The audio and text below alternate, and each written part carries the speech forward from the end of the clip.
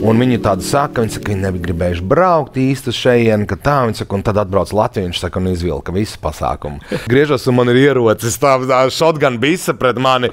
Es vienkārši pilnīgi stīvs, es saku, kas pa lietu. Nu, Filipīniešu apsēstība par basketbolu ir, es teiktu, ja mums tā likās, ka lietuviešiem basketbols ir reliģija, tad es saku, ka filipīniešiem tā ir vēl lielāka.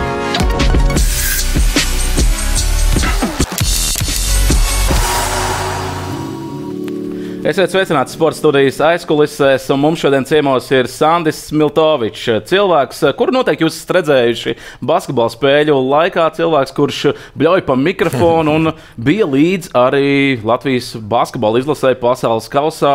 Sveiks, Sandi! Sveiki. Tu, kā ar tev tā saistība ar basketbolu ir? Mēs esam redzējuši tevi uh, arēnā Rīgā, ka tu uzkurini visu to publiku arī pirms himnas. Tu vienmēr skaistas vārdas pasaki, sevišķi tajās reizēs, kad visi kopkoris uh, dzied. Bet, uh, Kā tev saistība ir ar to basketbolu? Kā tu nonāci līdz basketbolam vispār? Nu, basketbols īstenībā sen jau, kopš 2009. gada. Uh, basketbols, uh, nu, man pašam ne, augums neļauj būt par basketbolistu, bet, uh, bet nu, viņš ir tāds uh, sirdsmīļš sports. Un uh, 2009. gadā man paaicināja uz Eurobasket Women. Tad bija uh, palīdzēt norganizēt tā saucamās on-court lietas, jo tas man aizrautība ar sporta eventiem jau bija jau tajā laikā. Un, uh, un, uh, nu, tā tas viss lēnām sākās.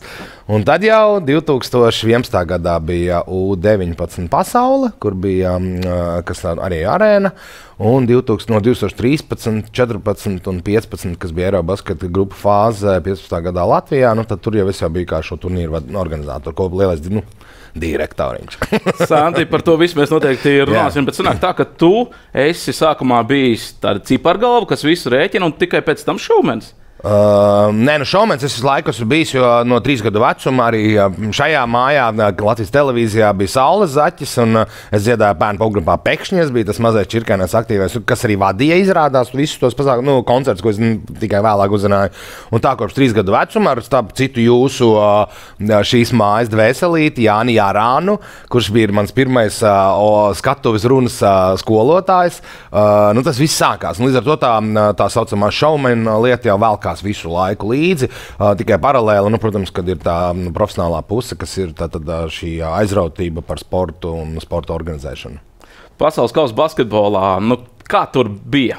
uz vietas. Tu tur devies, lai filmētu video ar faniem, lai atrādītu tos fanus gan mums, sociālajās tīklos, gan, protams, arī pastrādātu ar sponsoriem, jo viņi ir ieinteresēti tajā visā. Nu, kā tur bija? Āzijā. Ui, nu, kura gala lai sāk?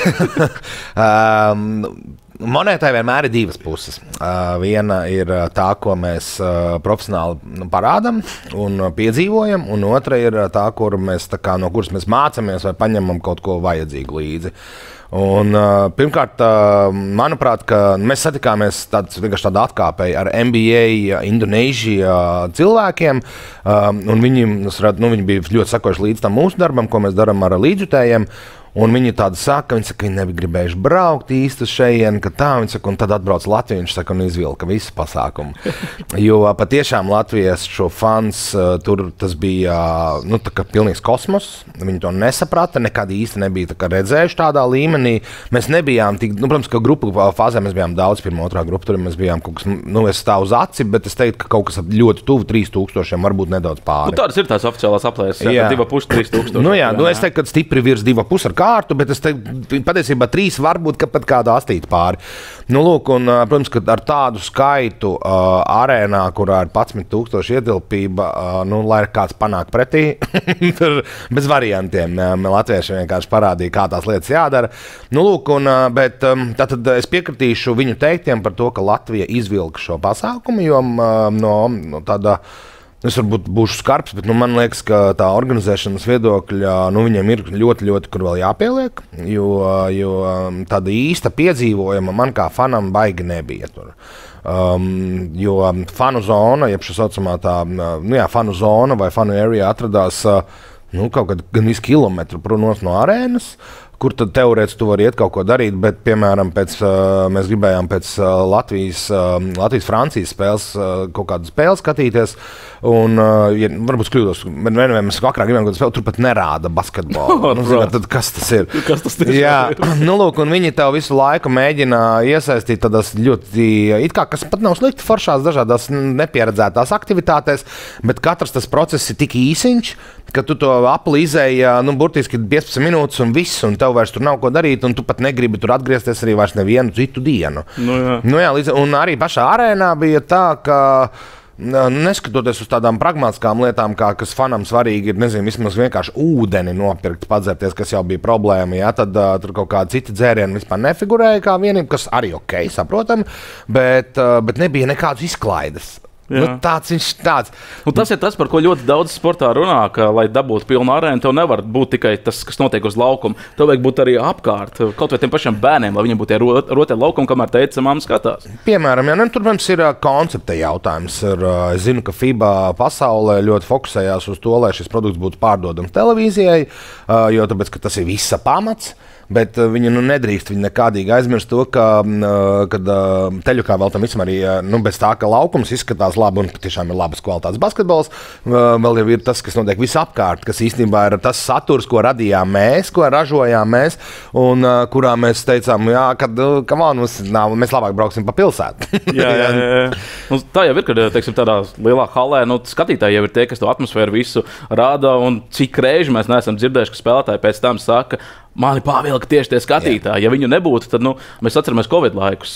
Lielai kaut vai futbola derbija, vai tās pašas Jebkurš. NBA, Orlando Jā. burbulis. Nu, tas bija pavisam cits basketbols. Absolūti. Tur jā. vienkārši tās emocijas nav kur noķert. Nu, tāpēc, ka skaidrs, ka tajā brīdī čaļiem tas ir tikai darbs. Nu, kas ir arī saprotami, jo viņiem, jo mēs jau aizmirstam to, ka profesionālais sports jau ir ļoti, ļoti smaga ikdiena. Nu, visu laiku ir tādās, nu, visu laiku tas tādā vienā un tajā pašā darbībā. Ja? Rīta treniņš, pēcpusdienas Nu, kaut kāds, a, jā. jā. Un, un tad tev ir vēl, piemēram, NBA 84 spēles gadā, ja, kas ir nu, sezonā, kas ir nu, nenormāli daudz. Ja. Un skaidrs, ka viņiem vajag šo piedevu no malas, lai nu, viņi sevi visu laiku atkal atgrieztu to ārkārtīgo vēlmu un vēlmu pēc improvizācijas uz laukuma. Nu, tādā veidā. Tā kā šeit uh, bija, kas bija īpatnēji, es, uh, kas man bija pārsteigums nedaudz, ka, mm, piemēram, ceturdaļa fināla spēle Latvija-Vācija. Es gribēju bildēt, es, uh, jo es biju reāli dusmīgs tajā brīdī uz, uz, uz, uz organizatoru. Es domāju, kā jūs varat nepārdot uh, ceturdaļu fināla spēli Filipīnās? Kā? Nu, tam ir jābūt kaut kādā veidā, visticamāk, kaut kāda, nu, kom- kā saka, akmentiņš komunikācijā. Un, uh, un jo arēna bija tā, ka bija tikai daži, nu, nevis daži, bet uh, tas uh, pulks latviešu uh, fanu, kas, protams, uz tās arēnas izstījās maz, uh, un tukšas sēdvietas. Un plus mūsu faniem neļauj Neļāva. savākties vienā vietā.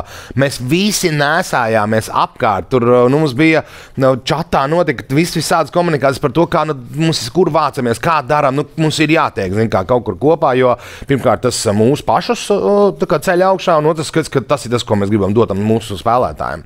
Nu, lūk, viņi neļauj, nu, viņi tā, tā, tādi burta kalpi, un, un tā izpratne par labu pasākumu un šādām niansēm liekas, nu, kas tas ir? Nu, lūk, un, tāpēc, un tad vēlāk, apmēram otrās ceturdaļas, kaut kādā 8, 9 minūtē, nu pašas beigas jau pirmam puslaikam, un pēkšņi nu, es nezinu, no kurienes nāk tie cilvēki.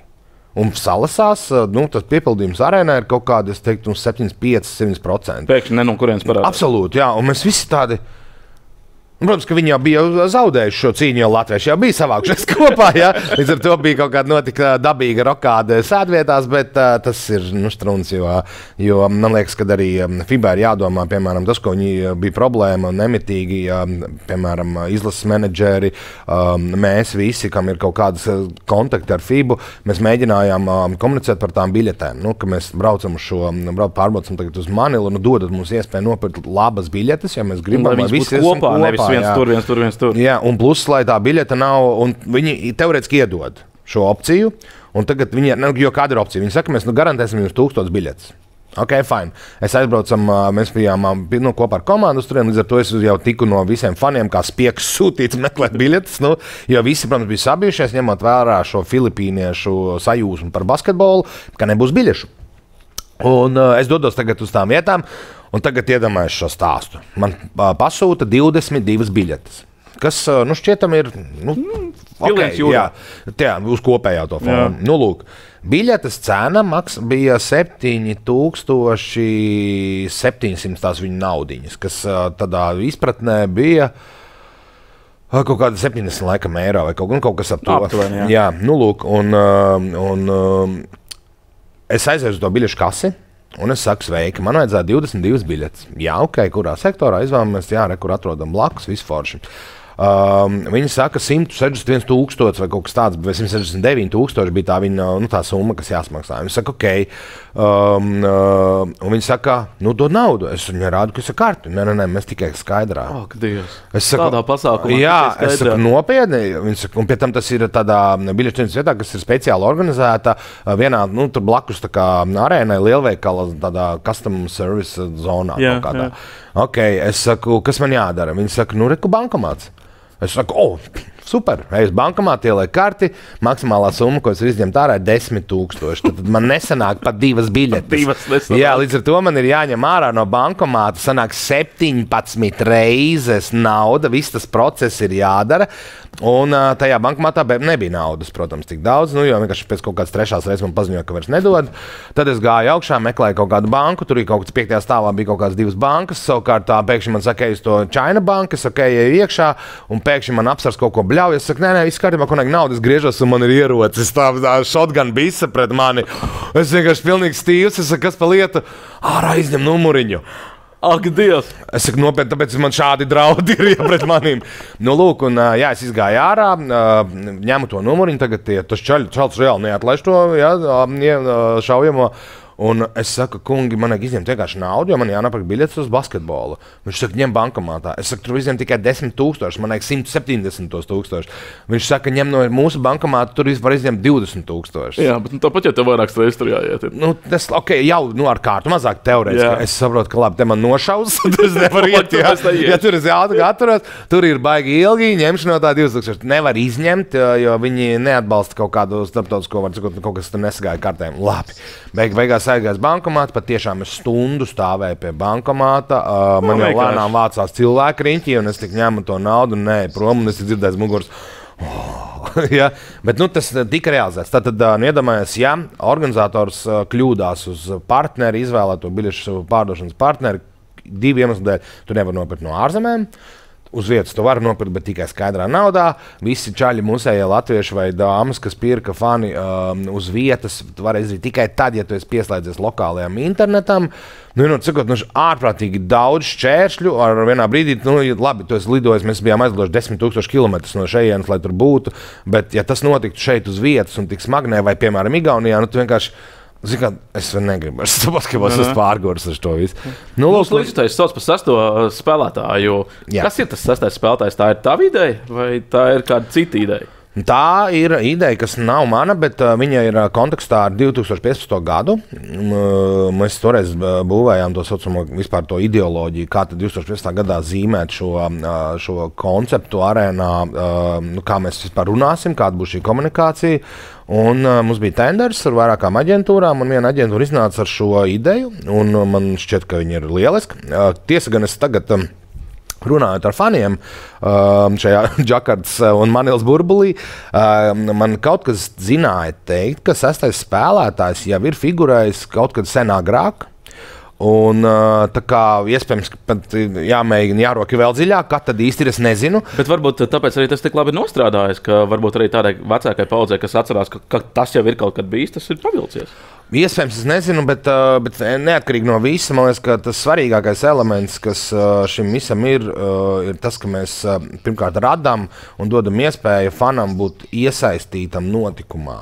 Un, un šis pierādīja, mums ir pierādījies jau neskaitāmas reizes šeit, Latvijā, arēnā, ļoti, ļoti parādīja Francijas spēle vai jebkura spēle, kuru mēs sākām 4. ceturdaļā ar mīnus 20 par skaitli.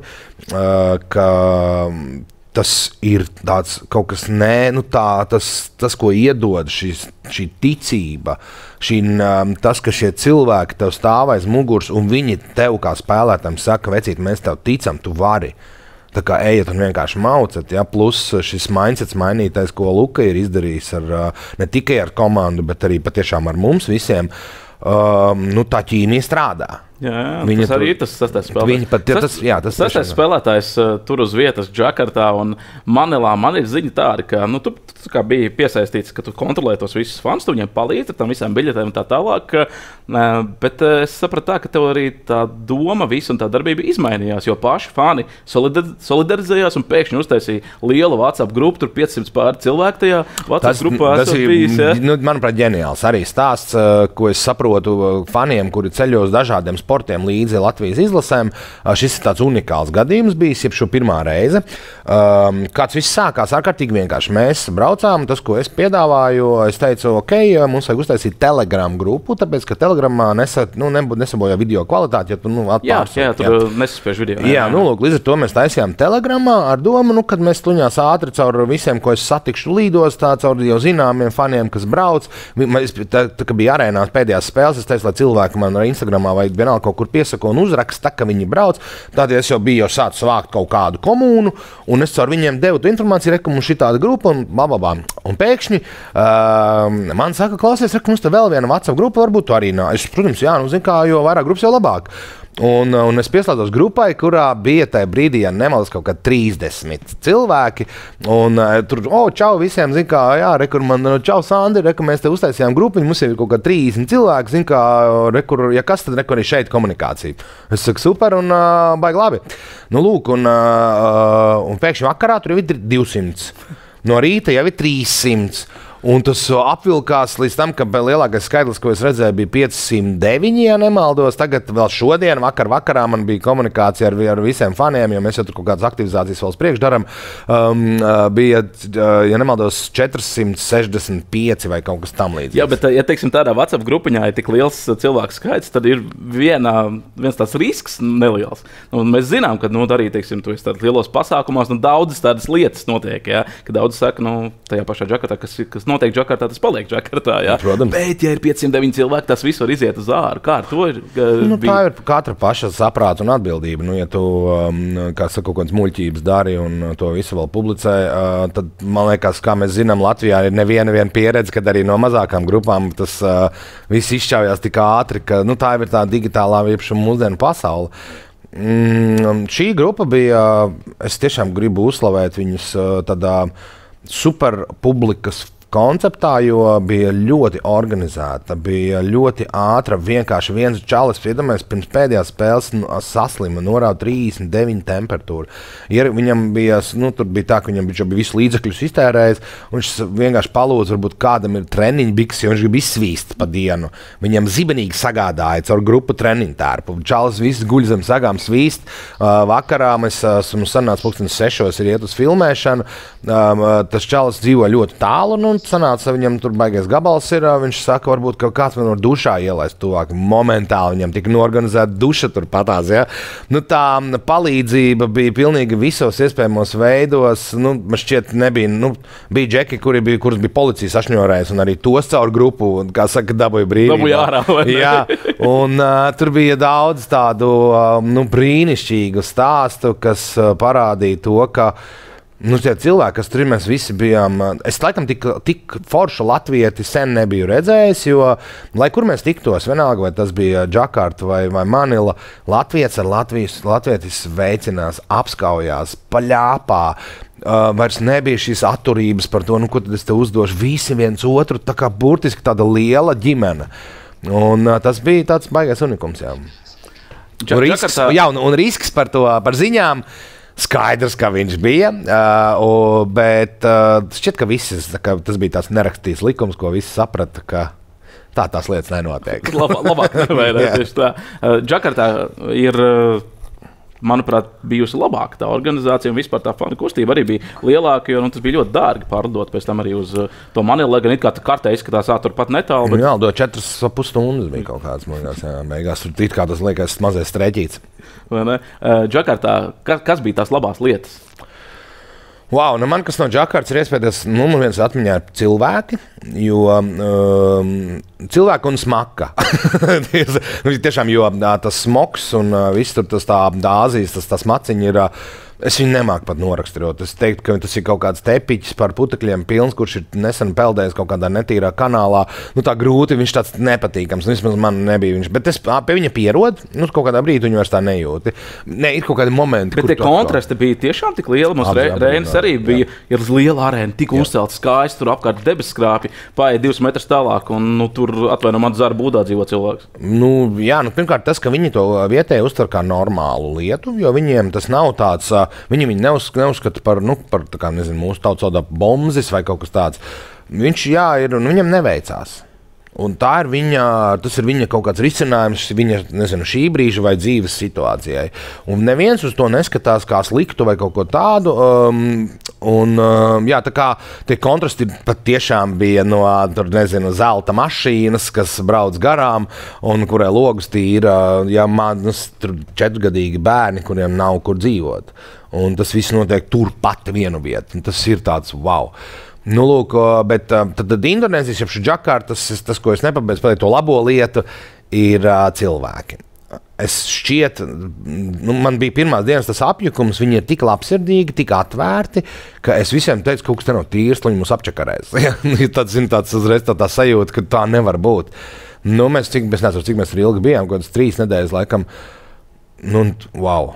Viss vienalga, kādā līmenī tu tur ej. jā, mē- Vai tā ir kaut kāda nu, uzņemšana, pieņemšana, vai tas mēs bijām arī pie viena tāda deju kolektīva, kur nu, bija arī dažādas kategorijas dejotāji.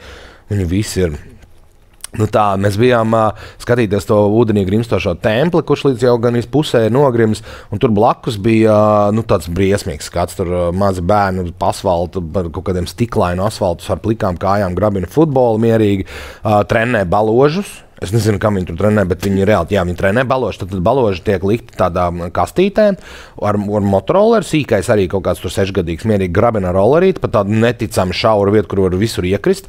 Bet aizbrauc, un tad viņš katru to balodu laiž gaisā, un tie sauc viņu. Un viņš Ā. lido pie viņiem, un viņš tā kā laižās viņam klēpī, un ja netrāpā, viņš nokrīt tur tāds mīksts, tā kā tāds polsters zemē. Un viņš tā kā sunītis, viņš no, no, no netrāpa tev klēpī, un, un tad viņš jau ielec burtiski tā klēpī apakaļ. Nu, viņa tad reāli tiek trenēta. Nu, mūsu sazvērstības teorijas bija dažādas, kam, bet, saka, tas, cik mēs nezinām īsto atbildi, līdz ar to tā arī paliks kā jocīgi minējumi, bet tas tur notiek ļoti, ļoti lielos apjomos. Nu, lūk, un tur blakus ir tad izgāstuvi. Nu, reāls miskastes kalni tādi, no kurām ēd aitas, jēri, gaļi, vistas, suņi. Un, ā, nu, un tur tālāk teorētiski ir cilvēku tādi nu, tiešām ļoti, ļoti nu, kā saka, nehigiēniska vide, kurā uf, nu, tas bija skumji skatīt, nu, žēl skatīties. Nu, un tad turpat blakus pēkšņi atbrauc kaut kādi bagātie vietējie, kuriem ir bērni ar kaut kādu elektroskūterīti, nu, kas tur maziņi spēlējās. Un tad tie savukārt nu, to visu, nu, tas viņi tur šitā sadzīvo. Nu, nu, Kontrasts baigais izklausās. Wow, nu tas bija tā, ka mums brīžiem mēs, kā mēs nespratām, ko mums filmēt vai nefilmēt, jo tas mums ir reāls apjukums un mēs gribam palīdzēt. Nu, tu jau saproti, ka tu visiem nepalīdzēsi, jo viņi jau arī viņiem problēma ir tāda, ka iedod bērnam naudu, vecāki viņu atņem un izpil- iztērē nu, visticamāk lietām, kuras ā, nevajag ā, nu, darīt ikdienā. Un tas viss, tas vilnis bija tāds, wow, nu, tāds. Nu, mūsu la- latviešu līdzstrādājiem arī bija tā, problēmas pirmajās dienās, kas šeit daudz nebija paskatījušies, ka Indonēzija ir vairāk tāda musulmaņu valsts, pieraduši, ir, ka tur futbolā, basketbolā tur var alus glāzi mierīgi var eh, sēdēt arēnā, bet tur tā nevarēja. Tur pat ūdeni bija problēma nopirkt un ienest iekšā arēnā. Es sapratu, Nu, kā, tiesa, to, kā mūs- ar to tika galā, un es atceros vēl to skaisto plakātu. Man ir Jā, nu, latvieši. kā, kāda tā izdevuma musējiem bija. Nu, uh, wow. Nu, izdevums, bija, izdevums tur bija visos līmeņos. Sākot no to, kā, ar, kā tikt uz labākām sēdvietām, jo arī tur bija problēma tā pati, ka nelaida. Un uh, tad beigu, beigās nu, tas uh, koncepts tika rasts un uh, tika atrasts veids, kā cilvēki no 500 sektora sēdēja aiz benča, uz, nu, aiz soliņa uzreiz. Un uh, arī alkohola keisi vai, vai nu, šīs, kā saka, fanu lietas. Uh, nu, tur visādos veidos. Beigās, ja, kā saka, bija, tas, vēl, uh, bija tā bilde ar, ar nosaukumu, ka dziesmu svētku uh, rūdījums, ja, kuras skoči jau viss pie kājām vai pie muguras tika līmēts. Nu, Es jau piemēru gribēju arī. Jā, un, uh, un uh, nu, viņi nu, atrada jau risinājumu. Vienmēr jau skaidrs, ka uh, šādām īpaši um, Džakartā, kurai nav pieredzes uh, šādu pasākumu organizēšanā, uh, arī Filipīniešiem es teiktu, ka bija tādi milzu robi. Viņi gan bija tur jau tā kā tāda jau likās, ka level up bija, Jā. Bet, bet uh, štajā, nu, Džakartā varēja da jebko darīt. Viņi vispār nesaprata, kas notiek. Nu, mēs, piemēram, Tādu izdevumu viņi pat nebija saskārušies. Jā. Nu, ne, taču, kur viņi vēl, kur nu viņi varēja iedomāties, ka, kad 600 cilvēki iet iekšā uz pirmo sektoru, visi ar vienu biļeti? Kā to var dabūt gatavu? Kā nu tu nopērci? Biļets jau nebija tik dārgs. Džakartā nebija tik dārgs. Augšējā sektorā, Lat, nu, tāpēc eiro bija kaut kādi. Es nezinu, ka mēs divas biļetes nopirkām par kaut kādiem 15 eiro. Kaut kas tāds bija. Jo mums pirmā dienā tur bija FIBA, kaut ko bija sam, nu, netika uz galā. Mums nebija akreditācijas uztaisītas. un Līdz ar to mēs nācās pret biļetes. Nu, jā, lai mēs tiktu vispār kaut kur iekšā, tad mēs nopirkām biļetes. Un, uh, nu, lūk, un teorētiski tev nekur nelaiž. Ja tev ir biļete, tad tev ejot iekšā, viņi apskatās to tavu digitālo vai, vai, vai drukāto biļeti. Viņi apskatās, ah, tu sēdi šeit, te, un tev uz turieni aizved. Jā. Ar pierokas šeit, jā, jā, un, tu, un, un, un tad, kad tev apsēdina, tad nu, viņiem ir Indonēzijā smējās, viņi ir tādā darba imitācijas paraugs, nu, kā maksimāli sarežģīti uztaisīt apjomus starp cilvēkiem. Bet pēc tam, pēc tam tad tev apsēdina, un tad tas cilvēks, kas tev apsēdina, iet atpakaļ, kontrolē tās biļetes, un ir viens cits, kas laikas, ka lūr, vai tu nemainīsi vietu. Ja? Nu, lūk, un, un, un, un, un uh, viņiem neienāca prātā ka mēs visi varētu čatā vienā aizsūtīt vienu biļeti. Un visi, kas iet, jo arēnā tu iet ar to, ko tu nopērci, jau viņu skanē, visu saprotam, bet iekšā pārējā tu kā uz sektoru vienkārši pāršķir to biļeti parādu un sveiki. Tā jūs arī tikāt vienā sektorā jā, kopistiski. jā, tas arī bija tas galvenā atslēga. Un, jo tas bija Džakarta. Jā, Džakarta, tad, bet Džakartā mēs arī apzināti fani speciāli dalījās divās pusēs, jo visu laiku gribēja to sasaukšanos, nu, lai bija tāds stereo Jā, jā, jā, jā. Jā. Nu, lūk, un tad bija viena, kas bija vienā pusē, un otra lielākā daļa bija aiz uh, komandas. Jo, nu, skaidrs, ka tev vajag, lai tev vienmēr, zin, ir tāda veca psiholoģija, ka tev jāelpo pakausī, jā, lai tu dzīvotos uz priekšu. No Džakartas bija pēc tam jālido uz Manilu, un tur bija arī interesants stāsts vietējais Andrew. Un, viņam šie sasiedot 2000 eiro, lai 2000 viņš eiro, varētu no jā. Džakartas uz Manilu to latvieši vienkārši savu naudu pārskaitīja. Viņam, vai Es tā skaitā. Vai, vai jūs vienkārši viņam nopirkāt to biļeti? Nē, nē, mēs viņu uztaisījām. Es nezinu, viens no faniem uztaisīja crowdfunding. Ah, jā. Uh, digitāli un uh, viss, un uh, ielikt čatā, jo um, tur tas stāsts īstenībā ir uh, varants. Uh, tas Andrew, um, nu, pirmkārt, tas viņa uh, apsēstība ap to basketbolu un ap uh, Latvijas basketbolu un pu- Kristapu ir uh, varana. Ja tev ir uzstādīts porziņš, tas tāds. Ok, Jā, okay.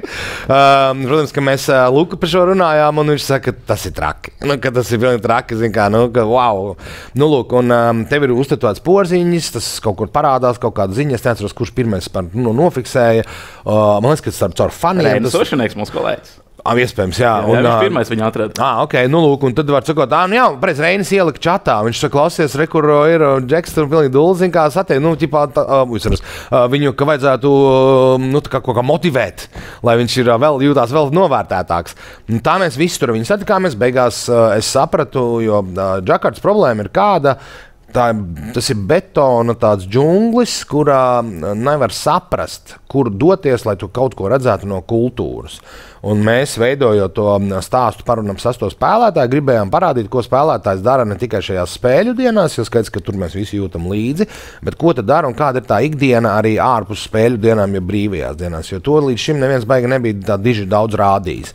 Nu, lūk, un mūsu tas lielākais izaicinājums bija dabūt jē- jēgpilnu saturu, kur aizvest vai ko, ko piedzīvot sastiem spēlētājiem. Un, ja tu neesi vietējais, tad tas, kas ir pieejams tajā internetā vai kaut kur, ir šausmīgi limitēts. Nu, lūk, un, tad, un otrs ir viss, kas ir internetā, viņš ir uzpucēts. Tur nav tādas īsti īstuma. Nu, lūk, un tad uh, Andrew bija tas, ar kuru es sāku komunicēt, klausies vietējais. Jā, gangsteri nu, nāca palīgā. Un viņš bija, nu, protams, kā jau es saku, ka atkal jāsaka, kā jau indonēzieši, viņš kaut kas neticami atsaucīgs. Uh, mēs iepazināmies ar viņas sievu. Jā, mēs tiešām viņu, jo es viņu paaicināju uz filmēšanā, viņu, mēs viņu filmējām un atbraucu visu ģimene. Jā. Un, uh, un tā sieva, protams, ir- kas ir interesanti, kombinēt ar drūmākā. Jā. Nu, pozitīvā ziņā, tad, tad uh, Andrew ir sava uh, lietotu automašīnu kompānija. Kurā viņš ir viens no īpašniekiem, un sieva ir šīs kompānijas finansu vadītāja, nu, direktora. Kā, ja. Ģimenes uzņēmums. Jā, palielinām. Nu, tad tas Andrew ir klasisks pārdevējs, kas lido un vienkārši visu laiku var runāt kaut ko. Un sieva visu laiku klusu. Klusu, šito nē, darām tā. Ja, nu, kas principā rausta visu laiku. Ja. Nu, lūk, un tā arī notika tā filmēšana mums, ka tā ideja bija kāda. Mēs filmējām, mēs Andrew aizvedām latviešu ēdienu. Un uh, Andrew mums deva pagājušo gadu vietējo īstu tādu, nu, kas ir viņu tādas lietas. Un tad mēs bijām, es starp citu, tur uz vietas no um, uh, Indonēzijā pieejamiem produktiem taisījām augsto zupu. Mm -hmm. Kas uh, kefīru nevarēja dabūt, to mums atsūtīja latviešu fani no Balī. Lūk, tāda ir sastāvā spēlētāja iesaiste. Nu, nu, es tikai ierakstīju, klausies, man ir problēma, nav kefīrs, varbūt kādi ir ieteikumi. Mums Balī ir, varam aizsūtīt. Es saku, man filmēšana rīt, nekas šodien izsūtām. Nu, tā. Nu, lūk, un um, uztaisījām tiešām lielisku augstu zupu, tādu, ka mēs paši viņu gardu mutu noēdām, un arī Andrew ēda. Nu, lūk, uh, tad, tad Andrew iesaista visā sastāvā spēlētāja kustībā. Bija, viņš bija visur klātesošs, visur piedalījās. Viņš ir atslēgas cilvēks, izklausās. Nebūtu jūs viņu atraduši, tad tas, tas viss varēja izvērsties pavisam citādāk. Savādāk, jā, un mēs Jā, būtu jā, jā. atraduši jā, kaut kādus citus, visticamāk, veidus, bet viņš bija un viņš ļoti arī gribēja būt iesaistīts. un Man tikai likās super, uh, ka viņš, kā, viņš teica, ka viņš gribētu tā kā, braukt tālāk, jo, protams, tā sajūsma visiem ir liela. Un, un uh, skaidrs, ka tās uh, finansiālās rocības ir dažādas. Un, uh, un mēs tā kā bijām, nu, ir, es domāju, nu, let's go! Pamēģinām. Un tas nav man, man, es nebiju iniciators, to tiešām izdarīja viens no faniem. Un, uh, un tā, es ieraudzīju to, ka, šitā, ka šāda akcija jau notiek, nu, man nebija jautājumu. Protams, es uh, arī automātiski uzreiz palīdzēju, jo kaut kāda cik bija iespēja, tik nu ieskaitījām. Un viņš to summu vajadzīgo salasīja super ātrā tempā.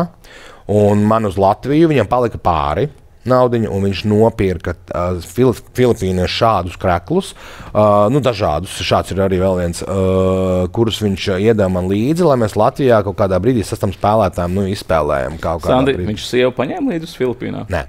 Ah, tad viņam apnika mazliet, ka viņi tur grūst. Jā. Uh, tas jājautā viņam, jā, bet Varbūt viņš vienkārši gribēja savu Nē, bet viņš, bet viņš arī Filipīnās viņš patiešām izbaudīja uh, notikumu. Viņš gāja uz ne tikai visām Latvijas, bet arī uz citām spēlēm.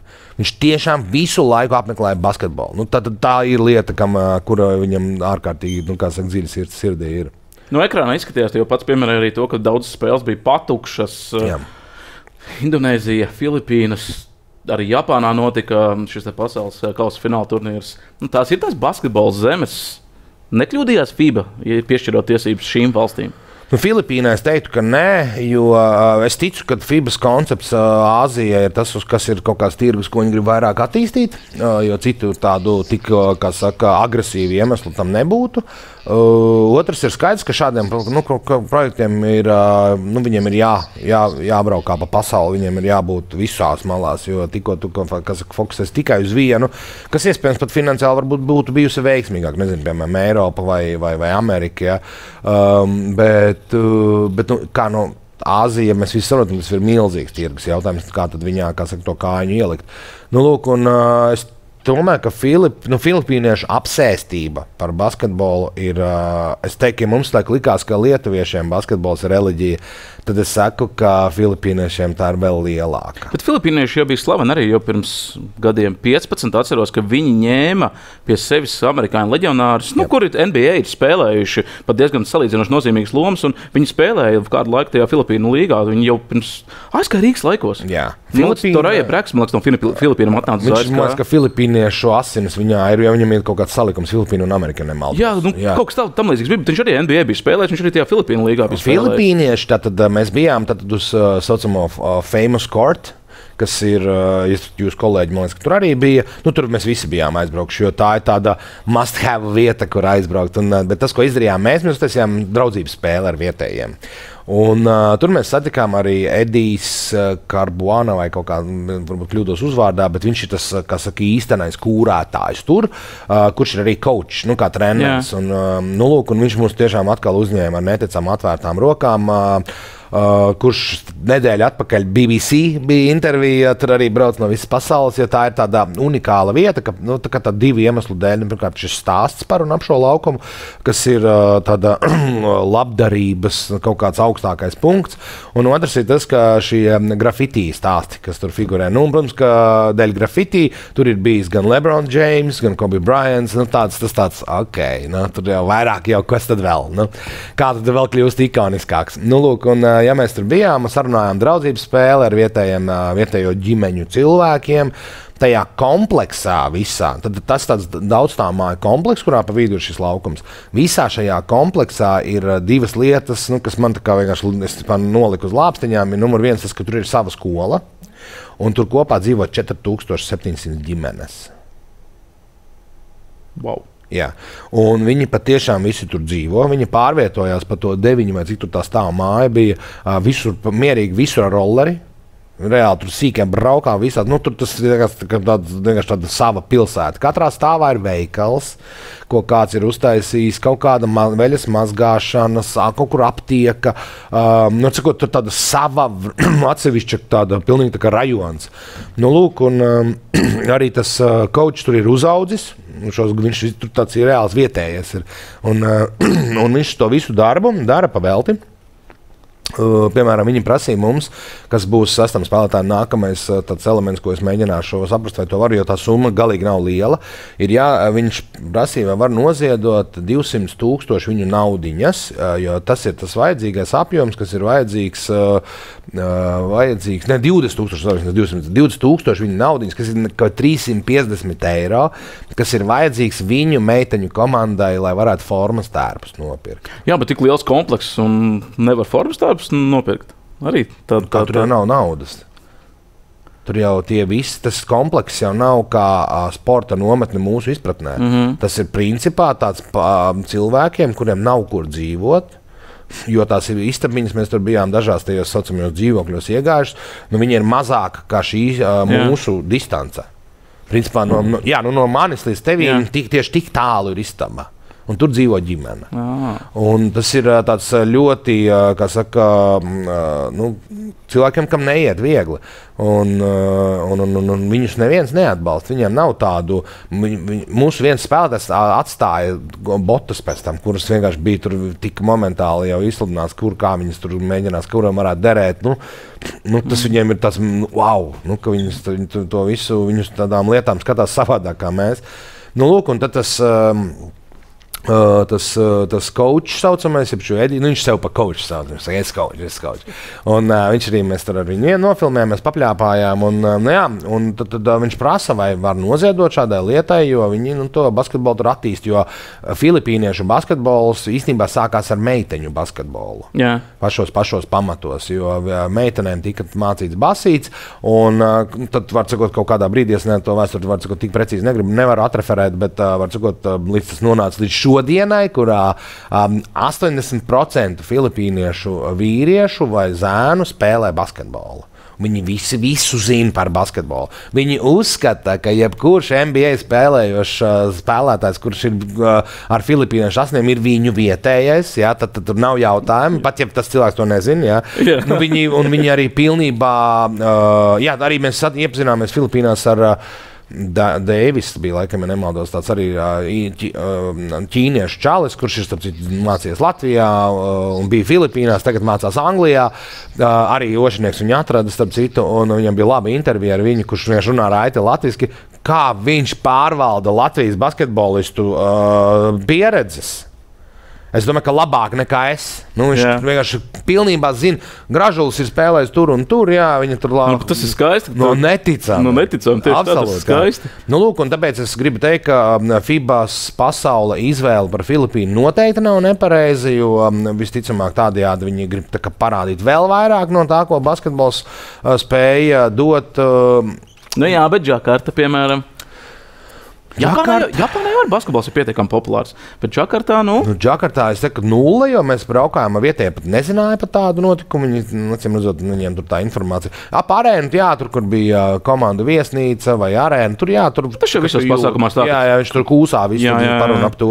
Bet, bet pilsētām nu, nav tā. Un arī nav tā, ka viņiem baigi interesē. Nu, jā, bet FIBA jau nav vienīgā, kas tagad ļoti pozicionējas Āzijas tirgu. Mēs skatāmies arī pasaules kausa futbolā, bija Katarā. Jā, tas ir mazliet tuvāk, bet, ja es tā mazliet panelizētu, tad tajā pašā, nu, tas pašs Filipīnas. Cepar nos, ka viņi ļoti mīl basketbolu, zina pa mūsējiem, zina pa visu NBA. Bet, nu, ja mēs skatāmies statistiski, tad eh, nu, tas nav pārāk izdevīgi tiem pašiem Eiropas faniem. Jo nu, tie skatītāji pasaules kausam basketbolā lielākā daļa jau tomēr ir no Eiropas. Spēles ir pa dienu, ka, kamēr mēs visi jau esam darbā. Kāpēc um, šīs lielās organizācijas, FIFA, FIBA, tik ļoti uz to Āzijas tirgu skatās? Nu, tur jau ir vai nu šim notikumam, piemēram, pasaules kausa basketbolā vai futbols. Um, hokejs varbūt vēl ne tik ļoti, bet, uh, bet arī es ticu, ka kaut kad notiks jau tādā galā. Um, Nu, viņiem Viņa- maksā tādai FIBA. Es ticu to, ka uh, tas ir tāds biznesa modelis jau lielākā apjomā no sērijas, ka pirmkārt viņš ir interesants kļūst arī pašvaldībai ja? vai, vai, vai valstī. Un, uh, viņi jau nu, tā zina, kā lēnām to visu pako, jo tam līdzi nāk vairākas lietas, uh, sporta preces, um, ja, turisms. Nu, tur uzreiz salasās vairākas nianses, kas, uh, kuras um, nu, summējās kaut kā kopā. Un tad nevienmēr jau lielajām valstīm nevienmēr vajag uh, uzreiz tādu pragmatismu, ka tas atpelnās uzreiz. Ja, nu, piemēram, Latvijai mums bija viena intervija ar Nordu, kurā mēs nu, abi esam līdzīgi domājuši par to, ka projektam ir jāspēj sevi nu, atpelnīt vai Pelnīt, uzturēt. protams, jā. Nu, lūk, viņu gadījumā viņi skatās uz to visu savādāk, viņu tās, tā rocība ir plašāka, un viņi jau ne uz visu skatās uzreiz, ka man viņš ir jāatpelnā. Nu, bet tad varētu teikt, ka tā, tāda FIFA un FIBA varbūt mazliet izmanto šīs Protams. valstis. Loģiski. Tas ir nu, arī no viņa puses, beigās tas ir bizness, nu, kaut kāds sporta bizness, jeb šo um, uh, nu, sporta attīstība. Un, um, un, un, un, jā, jau es pat teiktu, ka bizness ir pēc tam. Nu, šis jau ir tāds lielais pirmais solis, un loģiski, ka viņiem ir jāmeklē, kur tad šo kāju durvīs ielikt, uh, kuru uh, un īpaši. Kur nu vēl prātīgi, nu, ja mēs tādā padomājam, tas ir ļoti prātīgi to darīt tur, kur reiz tas vēl nav tik attīstīts. Jo tās jau ir tādas jaunas durvis, kuras tu vari atvērt daudz plašāk vaļā. Nu, šis pla- plašās Azijas durvis atvērās, manuprāt, ap 2008. gadu, kad Pekinā norisinājās Jā. Olimpiskās spēles. Tas parādīja, jā. jā. Un toreiz jau bija tā, nu, būsim godīgi arī pēc tam nā, nākamās reizes, kad visas šie nu, tās pašas Olimpiskās spēles tur. Kas saka, solīšana, kuru pilsēta rīkos, nu nav jau tā, ka Eiropa tur ļoti, ļoti katru reizi piesakās un ļoti grib šos lielos pasākumus pie eh, sevis. un Pekina sev pierādīja 8. gadā, un tagad tās durvis visas ir vaļā.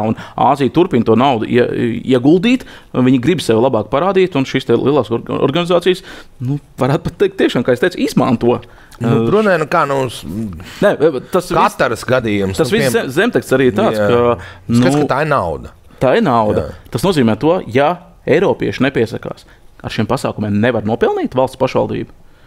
Vai var? domāju- Pats esmu organizējis Eiropas 2015, kas Rīgā tāpat notika. Nu, nu, es teiktu, ka tas bija tāds liels izrāviens nu, toreiz, jo tas bija tāds, tas bija tāds ļoti liels pasākums nu, pret Latvijas mērogu kā tādu. Nu, un, Es teiktu, ka mēs nostartējām, manuprāt, lieliski. Mēs varējām labāk, bija arī kļūdas, kas ir saprotamas šādiem pasākumiem.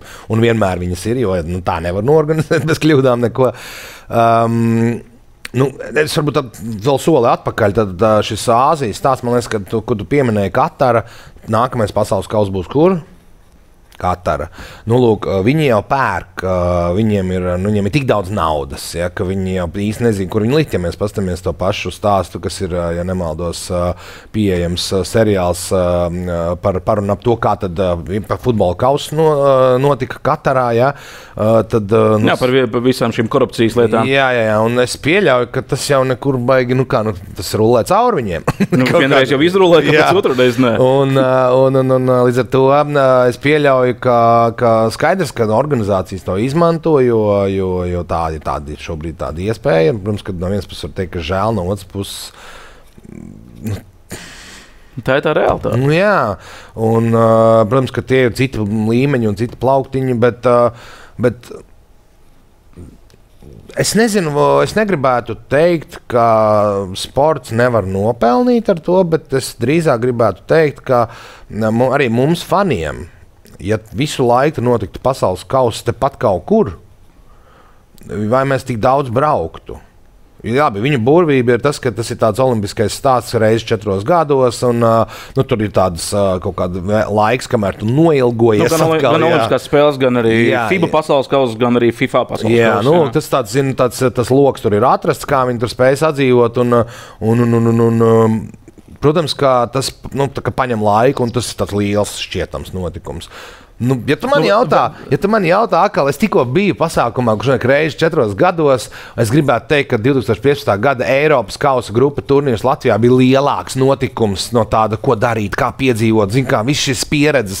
Uh, jo tur bija tā, ka mēs, nu, mēs reāli domājam, ko nu, fani bija priecīgi, ka mēs laiku filmējam, ko, ko darīt beidzot. Nu. Un, uh, un tas bija forši, jo īsti tur, jā, tu, tur pirmās dienas, pirmās dienas izbraukā tur vietējo reģionu un viss tev paliek garlaicīgi. Nu, jā, bet uh, mēs jau redzējām, tagad arī, kad bija Filipīnās un Džakartā, latviešu fani, jā, bija 3000 aptuveni, pārējo komandu fani un labi lēši vēl bija. Jā, Vārmāc, bet, vārmāc, bet maz, jā, maz, nu, jā. pārējo komandu fani nebija. Nu, atkal stāsts par to, ka nu, tā bāze fani jau ir Eiropā. Jā, bet, uh, un mēs tas... liekam šiem cilvēkiem braukt 10,000 km. Ceram, ka viņi tur būs ļoti daudz. Nu, nebūs. Nu, arī, arī tie latvieši, kas uh, aizbrauc uz Džakartu un pēc tam arī uz Manilu, nu, tie arī bija maksāt spējīgi cilvēki. Nu, vienīgā nianses, redzēja, Āzijas apsēstība par, par ikonām ir tik liela, ka tad, tad, tas, ko arī FIBA pasaule saprot. Uh, FIBA pasaules tas, tad, tad, tā galvenais mērķis ir dabūt uz to, lai uh, komandās spēlē zvaigznes.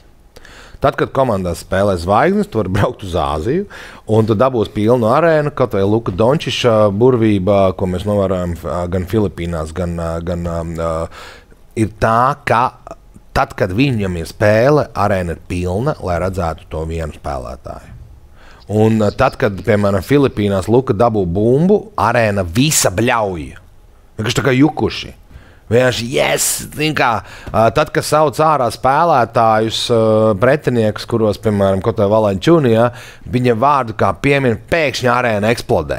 Tur no, viss... eksplodētu arī Kristofs Porziņš būtu. Protams, protams jā, jā, tur jau nav jāatzīst, nu, žēl, ka nebija, bet, bet ne, ne par to tad, tad, uh, nav tā, ka arēnu var piepildīt tikai fani šeit šis bija labs piemērs tam, kā arēnu var piepildīt superstāri uh, un vietējie. Un, ja mēs tā padomājam, tagad um, nav māksla arēnu piepildīt ar lojālu publiku.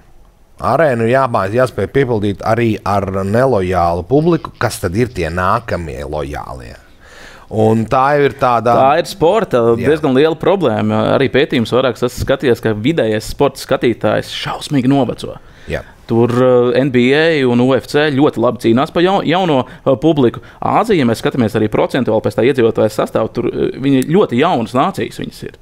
Eiropa noveco, teiksim, jā, bet uh, Āzija ir diezgan jauna. Nu, es, šīs nācijas. Ja mēs par faniem runājam. Jā, nu, vispār par to uh, iespējamo auditoriju, ko tu vari piesaistīt ar tādu vienu superstāru, jā, kā atnāk un tu dabū jaunus cilvēkus, kuri pēc tam vēl 20, 30 Jā. gadus skatīsies to basīti. Jau kaut kur jau ir, protams, tas, ko arī rekur, tagad es redzēju, Twitterī bija brīnišķīgi, X-ā, ja, pareizi laikam. Jā, tagad ir X-ā. Twitterī. Um, X-ā es lasīju par to, ko runāja par, uh, nu, ši, šogad šie divi brīnišķīgie notikumi, kad uh, divreiz mēs pie pieminekļa redzējām fantastiku kaut kādu, ja, un um, abas reizes bija, bija tas uh, diskusija par to, kur, nu, kur tad sūtīt bērnu. Basketbolā vai hokeja? Jā, un uh, šeit neiet runa, šeit nevajag salīdzināt viņus, jo tā patiešām ir izvēle un arī dotības un prasmes un arī fizioloģija, tur viss kaut kas cits. Bet uh, fakts kā tāds, ka uh, ja nav šo šādu notikumu, tad šādas izvēles vienkārši neeksistē. Un uh, bieži vien izvēle pāriet pa labu uz to, kur ir vieglāk vecākam aizvest, vai lētāk, vai lētāk ja, kas ir normāls, pragmatisks lietas. Un, uh, un tur tādā Āzijā, piemēram, arī nu, meklēt šo bas, nu, jaunieti, kuram basketbols patīk, interesē, kas viņu aizrauja, vienalga vai arī citu sporta veidu. Ja.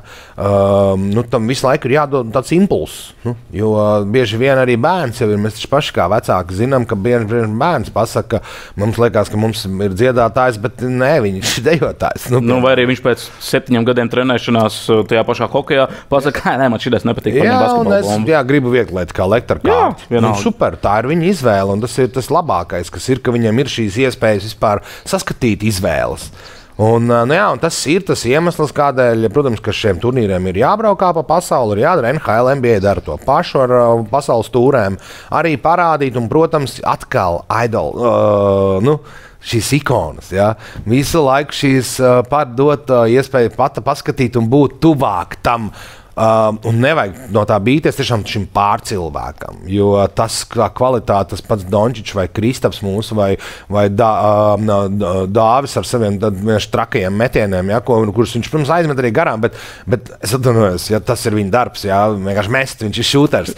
Ja, un, un tad, kad trāpa un nekur uh, pret, uh, cik viņam bija divreiz šajā turnīrā, viņš ielika trīnīt ar sodu. Ja. Yeah. Uh. Un tā, ka šādi trako trāpa, nu vienkārši wow! Nu, vēl divas reizes reizes bija tādas, kur reāli bija soda. Jā, nenosvilpja. Jā, jā tas, ka čempions vilpoja diezgan nu, tā, kad nu, saka, bija argumenti, bija dažādi viedokļi. Ja. Un, jā, un, un tas jau ir tas wow. Un tas, kas mani pārsteidza, tā tad jā, ka. Uh, nu man ir tā iespēja katru gadu uh, būt daļai no tam, uh, tiem, kurš organizē Berlīnē pasaulē vecāko velo gonku velo trekām kas saucās Six Days Berlin. Tāds, tas ir de, vecas derības no Madison Square Garden, kas yeah. nākušas. Nu, lūk, tur tas koncepts, ko mēs būvējam, ir tas, ka skaidrs, ka uz velo treku dabūt nelojālu publiku nu, ir vienkārši super izaicinājums. Līdz ar to viņam ir jākļūst tuvāk kultūrai, nu, un mēs viņu būvējam kā sporta ballīti. Var sakot, ir īstas sacensības, notiek trakā pa vidu. Reāli DJ spēlē, grupas dzied, um, Oktoberfests notiek pa vidu. Un, uh, un tas ir veids, kā tu uz to piesaisti cilvēku. Kaut ko šādu vajadzēs pēc diviem gadiem, manuprāt, Rīgā. Mums ir Eiropas čempionāta fināla turnīrs ar visām medaļu spēlēm. Šeit Jā. Rīgā pats rīkoja 2015. gada Eirobasketu. Kādi tev ir ieteikumi? Tikko, man liekas, tu ļoti labas nianses pastāstīji par to Vācijas treks sacensībām, kur arī tur rekurēs rīkotājs. Nu, uh, nezinu ieteikumu, protams, ka tā ir gara saruna. Tur viņu ir daudz dažādu, jo jebkuram ieteikumam visticamāk ir arī dažādi blakus argumenti un, un fakti, jebšu vai lietas, kas jāņem vērā. Nu, es gribētu teikt, ka man liekas, ka ļoti labu darbu jau parādīja Hoķis arī ar uh, to, kā var, uh, kā var uh, nu, tos fanus dabūt tur vienu vietu un radīt to svētku sajūtu, kas tiešām tur arī bija. Hokejā man ļoti patīk tā fanu zona. Es par to arī runāju. Jā, tas, tiešām... ir, tas, manuprāt, ir tāds, tāds brīnišķīgs, labs piemērs, kurš ir jāpatur saka, tuvumā, lai, lai par viņu atkal atgrieztos. Un indonēziešiem par to jāpaskatās, kā, kā tas jātaisa. Jā, no kilometra tā. Nu, indonēziešiem ir ārkārtīgi daudz, kas jāskatās. Pirmkārt, nu, man liekas, ka viņi tērē, tas, ko es iesāku teikt un nepabeidzu, ir tas, kā viņi imitē darbu. Mums pat mēdīju zonā. Uh, Varbūt gara tāda istaba, vienā tur ir kaut kāda, kur tev akreditācijas, kur tev ir nolikts mantas, tad tev ir darba galdi un tam līdzīgi. Un tad galā ir ēdināšana. Kas bija īpaši uh, Džakartā, bija galīgi ok, foršs ēdiens, viss tur foršs. Bet tev iedod, tad, tad uh, ienīri, iet iekšā, iedod kuponus, ar kuriem tu vari iet tagad ēst. Tad tu ej tālāk, tuvojas ēdināšanai, jau viena dāmas tev sagaida, kur noņem kuponus. Un viss vairāk tev nerunā. Vienkārši noņem kupons un visi jau skatās projām. Nu, labi, tā tālāk. Tad ir nākamā dāma, kurai, kuras uzdevums ir parādīt. Jo tur tāds, nu, tā, tā telpa ir, pa vidu ir galda un tad uh, galā ir ēšana. Viņa, viņas uzdevums ir parādīt, nē, nē, ejiet pa labi, jo tad būs aplis. Tad būs aplis. Jā, jo, okay. protams, ka zīmīt nevar nolikt. jā, tas, bet, ne, ne, nu, cil, ne, nu, cilvēki tur netrūkst. Cilvēki netrūkst. Nu, viņi tur tiešām netrūkst. Jā, un, un, un tad bija arī, kā viņi tur ņēmās, kā viņi tās biļetes kontrolē. Viņš ir vaiprātīgs apjoms, ir tikai tas saucamais stāvs, kas tur darbojās. Un, Eiropas, ka 2025 būs pelnošs Latvijā? Nu, garantija, jā. Protams, jābūt. Uz kā rēķina? Oh, nu, pirmkārt, uz uh, kas tur tāda grupa vēl jau nav izlozta bijusi. Jāsaprot, ir tā sadaļa. Jā. Uh, protams, uz to, ka um, Latvija ir arī tas unikums. Latvijā tādā Eiropas kontekstā ir ļoti vilinoša vide. Visiem šeit patīk. Uh, jo um, šeit ir daudz pieejamu lietu. Uh, tiešām ir ko darīt pilsētā. Uh, viņi ir interesanti. Mums ir, var sakot, interesants šis, uh, pirmkārt, arī tāpat vecrīgas stāsti, ko cilvēki, ko mēs jau varbūt vairs nenovērtējam, bet patiesībā tur ir ļoti, ļoti skaisti. Otrs ir tas, ka mēs esam pietiekami, teiksim, te, nu, ekonomiski uh, ērti, jo mēs neesam, ne, ne, neesam varbūt baigi lēti, bet neesam arī dārga vieta. Ja? Un uh, treškārt, uh, vēl visi šie notikumi pēdējā parāda, ka Latvijas uh, šeit tusē, nu, ka te viss notiek, ka mēs Jā. mākam, mums patīk sports, mums patīk tā kopā būšanas lieta. Nu, lūk, un, uh, un daudzi šeit tiešām nav bijuši. Uh, jo kā parasta turisma izvēle bez notikuma jau reti, ka tevi, nu, jo, piemēram, manā gadījumā es nekad mūžā nebrauktu uz Džakartu, ja man tur nebūtu darbs. Nu, vai, vai šāds notikums. Jā, jā. Jo tā ir viena no super garlaicīgākajām pilsētām. Nu, tā, tur vispār nav ko darīt. Tur ir grūti, tev ir karstums, nu vienkārši nu, vēlē, tu tur dedz nost. Jā. Nu, lūk, tas kā Dubajā aizbraukt augustā, kad tev ārā ir plus 70 grādi, kad, esi, kad cilvēks ārā ir mikroviļņu krāsnes. Principā. Nu, lūk, un, un, un, un bieži vien jau skaidrs, ka vajag šo mazo piedevu, lai uz tejienu atbrauktu.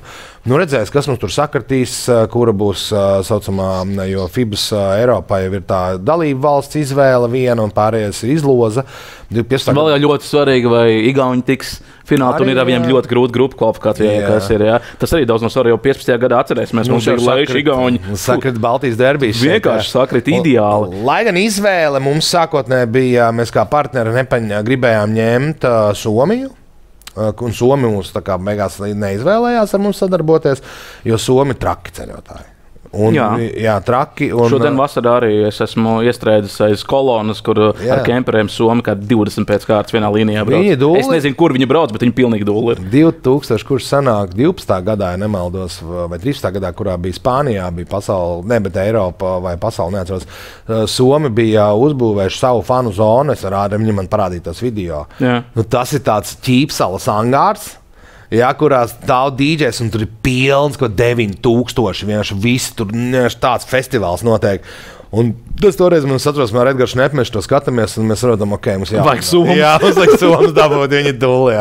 Nu, lūk, un viņi to nezrīja, un tad mums, kā saka, acīm redzot, bija kaut kādas zīmes no, no tā, ko mēs neietekmējām, un dabūjām Baltijas derbiju, kas bija brīnišķīgi, jo Igaunija, Igaunija bija malači, pie vairāk kā 5000 bija atbraukuši tajā gadā, un viņi taču uztaisīja to, ko mums neizdevās ar Lietuvu izdarīt uh, tagad uh, Latvijas-Lietuvas spēlē.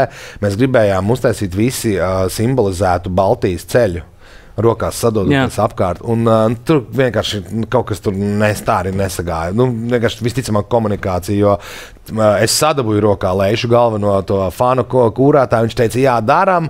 Um, tad, kad tam bija jānotiek, tad lejuši vienkārši nu, nekur nekustējās, nekas nenotika. Un arī letiņi tur apjuka. Un, nu, tas vienkārši tā, fine. tā, tas ir ok, ka tas nesanāk kaut kas. Nu, ņemot vērā tavu pieredzi rīkošanā, ticu tev, ka tas būs pelnošs pasākums, bet uh, tagad jau pasaules čempionāta laikā Kaspars Cipars apstiprināja, ka Latvija vēlas kandidēt uz Olimpiskā kvalifikācijas turnīra rīkošanu. Tur licences izmaksas ir virs diviem miljoniem eiro. Un šīs summas kad prasa izglītības zinātnes ministrijā no alaža ierēģiem un ministriem liek raukt uh, pieres. Ja skatāmies Eiropas čempionātā, jā, tur būs daudz komandas, daudz potenciāli līdzekļu, kas tērēs naudu šeit Latvijā. Olimpiskās kvalifikācijas turnīrs. Nu, trīs uh. komandas reāli cīnās Jā. par šo ceļa zīmi, varbūt četras. Nu, pārējās atbrauc piedalīties, un es neticu, ka te līdzutēji tik ļoti daudz atbrauks no tām pārējām komandām. Nu, vai var teiksim, tik lielus ieguldījumus atpelnīt balstoties uz trijām komandām? Nu, Olimpiādē, protams, ir cits svars. Ja mēs tagad redzam, uz ko, kādā, kādiem uh, ieročiem tur krāmējās Amerika, ja, ar kādu sastāvu plāno doties uz turieni, ja, tad tas, ja tas tiešām piepildīs, tas būs wow. Jā, tad uh, tur viss ir. Jā, tā ir olimpiāda, bet tas nav par kvalifikāciju. Jā, jā bet nē, tāpēc, tad, par ko es gribu teikt, tad olimpiāda ir uh, liels svars, un uh, viņš ir tikpat liels, kā mēs redzam šobrīd no Amerikas. Uh, jo Amerika tad, tad divreiz pēc kārtas pasaules kausā nav uh, tik dabūjusi medaļas, ja, un uh, viņi ir, nu, ir nu, dusmīgi, kas ir normāli. Jā, un, uh, tas nozīmē, ka, ja nalga, ja mēs runājam par, uh, kas mums ir tuvākie, kas mums ir pre, līdzi mums cīnās, tad, tad uh, lēši, jā, uh, franči franči, kas mums vēl nāk līdzi, kas ir trešais vēl bez mums. Vēl viens bija. Mm, es tagad aizmirsu uzreiz. Jā, nu, anyway, var sakot, jebkurai no šīm valstīm tas ir uber svarīgs notikums. Protams, ka es ticu, ka uh, svanu, uh, fanu ceļošana varētu būt ļoti liela. Nu, tad jau, protams, ir blakus vēl kaut kādas lietas, uh, kā, um, uh, vai tas varētu būt kā laba reklāma vai labs inputs 25. gadam. Principā kā tāda brīnišķīga reklāma, pa milzīgu tiesu naudu, bet, bet, bet jā, vai, tas, vai tur ir vēl kaut kādas blakus lietas. Par, nu, es vienkārši nezinu to finansiālo pusi jā. šim, līdz ar to man grūti ir noraksturot, un es arī visticamāk to nemaz nevarētu izdarīt, kamēr es neiedziļinātos. Bet es nedomāju, ka, es nedomāju, ka Olimpijāda piedāvā organizēt projektu, kuram nav iespēja sev nopelnīt. Jo to nedara neviens no viņiem. Jo jebkuras, jebkura saucamā, kāpēc arī FIFA jau gadiem dara šo, ko dara jau tagad arī gan Eirobaskets, gan Pasaules kausa, šo dažu vairāku valstu, to multiple country turnīru, ir tas, ka tādējādi var atpelnīt to investīciju. Nu, tas jā, ir tas jā, veids, jā, ka tu nevis vienā valstī, jā, bet tas ir tas veids, un tas jau ir jau, jau es atceros, 2013. gadā FIBA Eiropa, kad sāka par šo diskutēt vispār 2012. gadā. Ceros, tad, tad, tad tur jau parādījās, parādījās tie pirmie stāsti, kad aprēķina par to, ka, jā, ka tas ir tas modelis vēl lielam vienīgais. Plus šis modelis arī Latvijai ir daudz izdevīgāks, jo vajadzīgi mazāk infrastruktūras jā. ieguldījumi. Tad mūsu, mūsu problēma jau ir arēna. Latvijas Jā. lielākā problēma ir arēna, jo lielajiem turnīriem arēnu vajag virs 15,000 sēdvietas. Nu, jā. Mums ir uh, desmit, uh, labi pastrādājot, mēs varam dabūt 12,000, kas, ja nemaldos, ir līdz šim arī 12,100 sēdvietas. Man liekas, ka rekords, kas arēnā ir ar, nu, vispār ne sēdvietas, bet, bet, bet biļetes, ko var notirgot. Un, uh, un, un, un varbūt es kļūdos cipros. Uh, nu, lūk, bet, uh, Mūsu problēma ir tā, nu, tā lielākā. Jo, ja mums būtu liela arēna, protams, ka mums būtu iespēja, bet, nu, protams, arī nu, tikai tāpēc, ka mēs varam uztaisīt vienu pasākumu piecos gados. Uzturēt viņu. Jā, tas jau ir baigi izdevumi. Protams, ka tas ir tāds sakal vienkārši sadzīviski jautājumi. Jo... Mēs, mēs neesam Indonēzija, kas vienkārši var uzcelt tikai tāpēc, lai viņiem būtu, vai Ķīna. Nu, es, arī... nu, Džakartā, nu. cik dzīvoja 11,5 miljoni iedzīvotāji. Cik mums Latvijā ir? ja, uh, Filipīnās 14 miljoni. Nu, skaidrs, ka. Ah, un tad, tad vēl tas stāsts par to džakārtu, viņa grimst. Nu, kopš teorētiski, kas ir publiski jau pateikts, no 25. gada Indonēzija būs cita galvaspilsēta, citā salā, jo šī viss jau ir izsūkta un izgrims no kādas investīcijas tur notiek. Jā. Tāpēc, ka tajā masā, ja tas uh, viss tas uh, ritenis griežās un uh, tur viss notiek. Tur nav uz vienam sajūta, ka šis pluņās beigsies šeit. Tur tikai čaļi saprot, ka tagad arī mēs runājam ar vietējiem. Viņi, mēs prasām par šo um, uh, galvaspilsētas māju. Viņi saka, ka tuliņ būs vēlēšanas. Visticamāk, reko jaunais čalis, kas uh, vinnēs, paziņos uh, prezidents, laikam viņiem tur mainās kaut kad vai šogad vai nākotnē. Uh, var sakot, uh, paziņos, ka būs būvēs augstāks dāmbis un būs tālāk. Jā. jā. Nu, tur jau arī tas nenormālā, zināmā, politiskās un, un, un biznesa rotaļas notiek uh, līdzi. Sandī, tev ir? Tagad, uh, nevis tev ir, bet es te pateikšu tā, Sandi. Tev tagad ir lieliska iespēja bez čata palīdzības pateikt, eh, ko tu gribi pateikt. Paldies mūsu sastajiem spēlētājiem. Ko tu gribi viņiem pateikt? Es vakardien tieši ierakstīju čatā, eh, un es sapratu, ka man ir šausmīgi grūti atrast tos īstos vārdus, jo man liekas, ka pēc tā īstā vārda, kurus atrodu, ir vēl īstāks, kurš būtu jāpasaka. Bet uh, tas, ko es gribu pateikt sastiem spēlētājiem, nu, jūs tiešām esat uzcēluši, manuprāt, tādu jaunu latiņu šajā fanu kultūrā. Uh, Jo jūs, tas vairs nav tikai aizbraukt, izslēgties no realitātes un vienkārši kaut kur lidot, bet tā bija tāda īsta saikne un tāds, jūs tiešām bijāt kā komandas biedrs. Un es braucu mājās, mēs teikt, lidojām atpakaļ ar ceļiem, plāpājām. Un arī pēc tam, ko es jau teicu, pēc katras spēles, man tur bija nu, no rīta brokastis, mēs sēdām kopā, tad ar ceļiem plāpājām, kā arī viņi saka, wow, nu, tas ir ka tu pilnīgi tev tā kā tāds zingu rūžs, tas tā sajūta, tas tāda viņiem. Un um, tas sastais spēlētājs, uh, un es šobrīd runāju par visiem faniem, ne tikai par basketbolu. Uh, Latvijas līdzšana šobrīd ir parādījusi to, ka mēs esam atpakaļ tajā brīdī, kurā pirms kāda laika Kanāda un Amerika rakstīja, ka pasaules labākie fani ir Latvijā. Un man šķiet, ka šobrīd mēs esam uh, tur, un varbūt pat jau soli uz priekšu. Jo, uh, Nu, nevelti mums ir divi šādi notikumi šogad bijuši. Mm. Tāpēc es esmu pateikt, es negribu teikt paldies, bet es gribu teikt, ka jūs vienkārši esat labākie. jo, jo, jo nu, par ko paldies? Par to, ka mēs mīlam un, un esam. Lai gan arī paldies, nu arī paldies, ir tas tur ir viss kopā. Jā, tur, jo, Nu, tas ir. Es tā nemāku izstāstīt. Tas, uh, mēs šobrīd domājam par to, ka sastam spēlētājiem, visi, kas bija aizbraukuši, ir jāuztaisa afterīts. Un kā visi jāda super maucam, nu, ka forši. Nu, mēs gribam, arī- gribam atkal ar jums satikties, jo tur sat, iepazinās tik daudz cilvēku. Mm. Tur bija tā, ka visi sūta lokācijas, kur ir forši šeit nebraucat. Šī nav, nezinu, vai tur dārgas cenas vai kaut kas vēl. Nav forši šī laiž, ah, bija naktsklubi, kuros laiž iekšā tikai garajām biksēm. Jau bija atraduši veidu, kur dabūt lētākas bikses, jo tur uz vietas tirgo par kaut kādām 200. Un, cikot, nu, tas viss notika tāds, vispār likās, kas es no rīta pamostos. Jo, Mums tā uzsēšana tur bija mazāka, jo mums tiešām bija katrs grafiks, bija varants. Un, un, uh, un uh, man, mans uh, operators Reinis Blūms, viņš vienkārši nu, tur kā iespējams, viņš at atplīs. Kaut kur es pirmā redzēju cilvēku, kurš kā iespēja tā no, no atslēdzās.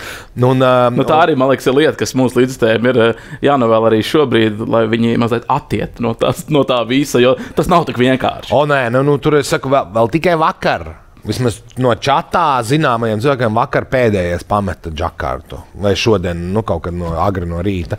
Nu, lūk, tā kā nu, malači super uh, ir jā, šī pati jālaiž tālāk, jo tie, kas nekad nav, es nekad nebiju uh, bijis tāds uh, īstenā fanu viducīna rāpījis, jo man vienmēr es tur biju vai nu kā organizators vai kaut nu, kaut kur tā kā no sāna.